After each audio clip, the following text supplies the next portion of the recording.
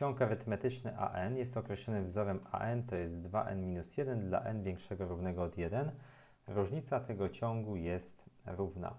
E, Zobaczmy, w takim zadaniu testowym, żeby policzyć różnicę, możemy sobie wziąć, policzyć drugi wyraz, policzyć pierwszy i od drugiego odjąć pierwszy i mamy różnicę.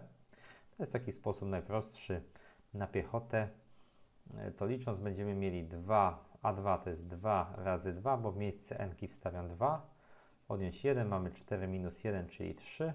I a1 to jest 2 razy 1 odjąć 1, mamy 2 minus 1, czyli mamy 1. Różnica naszego ciągu to jest 3 minus 1, czyli 2. Odpowiedź C.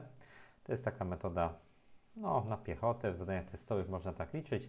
Formalnie przy zadaniu otwartym albo jakimś takim zadaniu, nie wiem, na poziomie rozszerzonym, jakbyśmy mieli jakiś element, żeby wykazać, że na przykład różnica ciągu arytmetycznego wynosi ileś, liczymy to w ten sposób.